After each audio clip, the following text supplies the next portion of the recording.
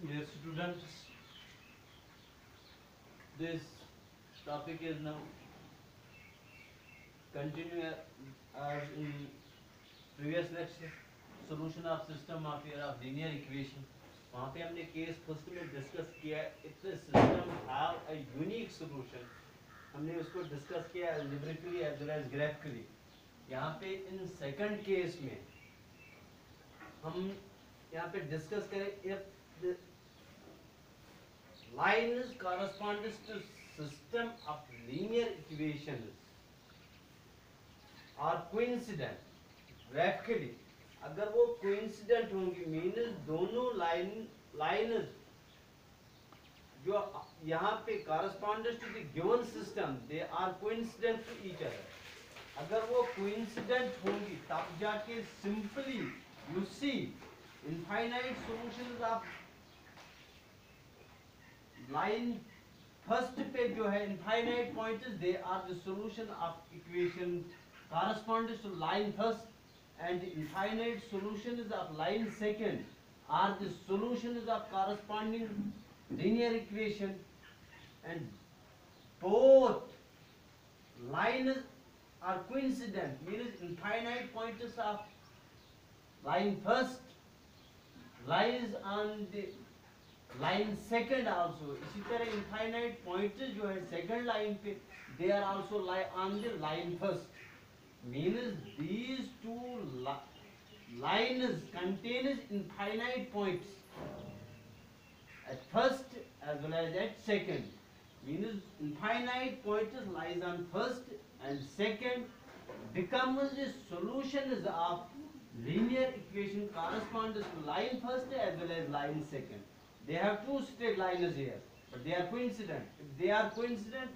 they have infinite points lies on it becomes the solutions of system of linear equations corresponds to these two straight lines means case second में क्या होगा the system of linear equations to have infinite solution the system of linear equations linear equations to have infinite solutions infinite solution infinite solution. If a system have infinite solutions then we say the system is dependent. Then we say the system is system is dependent dependent and consistent and consistent. Remember this important regarding your examination. If a system of linear equation have infinite solution we say system is dependent remember this and ये system is consistent ये दोनों point important है regarding your examination अब ये grab के लिए आपने देखा, अगर एक लाइन के इनफाइनाइट पॉइंट दूसरे लाइन पे है, तब जाके वो सोलूशन बन सकते हैं system of linear equation as this system of linear equation have infinite solution system is dependent and is consistent graphically आपने understand किया now we see here under what condition the system of linear equation to have infinite solution condition हम यहाँ पे देंगे condition condition to have infinite solutions infinite solution condition क्या होगी? If option of x in equation first divide option of x in equation second if it is equal option of y in equation first और option of y in equation second. If it is equal to constant term over constant constant term in equation first. Over constant term term in equation second. That is condition क्या आ गई? Coefficient of x in equation first मान लीजिए आपके पास given system है coefficient is here x in equation first that is a1 coefficient of x in equation second that is a2 अगर ये इक्वल होगा coefficient of y in equation first that is b1 coefficient of y in equation second that is b2 it is equal to constant term in equation first, that is c1 वर्सिंग ये condition है to have a system infinite solution और इनके रेस्टोकल से भी आपको ये condition मिल सकती है। दैट इज़ और इस तरह भी लिख सकते a two over a one अगर इक्वल होगा b two over b one equal to c two over c one you can check either this condition और दिस कंडीशन अगर कंडीशन यहाँ ये या ये satisfy हो गई you can say this system have infinite solution now take example if 2x plus 3y plus 5 it is equal to 0 equation is second 4x plus 6y plus 10 equal to 0. Now verify this relation. Now see here a1 by a2. A1 is coefficient of x in first equation that is 2. a2 is coefficient of x in second that is 4. That is simply equal to 1 by 2. Now see this b1 by b2 that is b1 by b2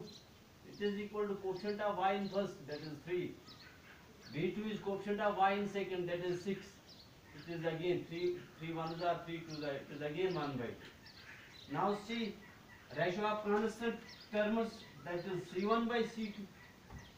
c1 by c2 it is equal to simply 5 by 10 5 ones are 5 twos are it is again equal to 1 by 2 clearly we have here a1 by a2 it is equal to b1 by b2 it is equal to c1 by c2 then the system a system has infinite solution has infinite solution infinite जब इसमें infinite solution है, तब जाके ये dependent है। ये system dependent है। और we can say this system is consistent ये हमने यहाँ पे देखा। अब हम नेक्स्ट एग्जांपल लेंगे इस example if x plus y minus one it is equal to zero 2x plus 3x plus 3y minus 3 it is equal to 0 see here a1 by a2 किसके बराबर होगा under the condition this condition it is equal to इसका coefficient 1 है 1 over 3 b1 by b2 again coefficient is here here is 1 1 by 3 and constant terms का ratio c1 by c2 it is equal to minus 1 by minus 3 minus minus cancel it becomes 1 by 3 you see a1 by a2 b1 by b2 c1 by c2 all are equal to 1 by 3 therefore this system has infinite solution has infinite solution इसमें भी infinite solution है तब जाके ये भी यहाँ पे dependent है एंड इज़ कंसिस्टेंट अब अगर ये कंडीशन सेटिस्फाई नहीं हो हुई किसी सिस्टम में उस केस में उसके इनफाइनाइट सॉल्यूशन नहीं हो सकते। सी एग्जांपल है if we have say 3x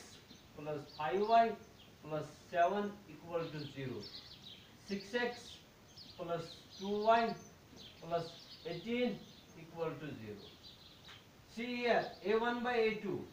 A1 by a2, that is coefficient of x in first and coefficient of x in second. That is 3 by 6, it becomes 1 by 2. Now see, b1 by b2. You see, b1 is here 5. B2 is here 2. It is equal to 5 by 2. C1 by C2. It is equal to 7 by 18. see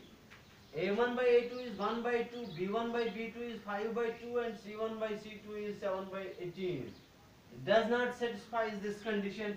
A1 by A2 is equal to B1 by B2 is equal to C1 by C2. ये इस कं, ये condition यहाँ जब ये condition satisfy नहीं हुई इसका मतलब है इ- इस सिस्टम में जो यहाँ पे सिस्टम है इसमें इनफाइनाइट सॉल्यूशन नहीं है this system does not have does not have infinite solution इसमें infinite solution नहीं हो सकते revise this in summary if we have if we have a system to have infinite solution उसके लिए हमने graphically दिखाया कि जो system है corresponds to this system we have two straight lines they are coincident they are coincident then the infinite point is line lies on the line is becomes the solution of system अब infinite solution आपके पास आ गए जब graph of the system of linear equation corresponds to the linear equations are coincident वो हमने graphically देखा algebraically उसके लिए कंडीशन है जो हमने यहाँ पे डिस्कस किया if this condition holds a1 by a2 is equal to b1 by b2 equal to c1 by c2 तब जाके सिस्टम में इनफाइनाइट सॉल्यूशंस होंगे and system is called dependent and is consistent और हमने एग्जांपल्स जो भी ये डिस्कस किया that is all about the second case and third case will be discussed in next lecture thank you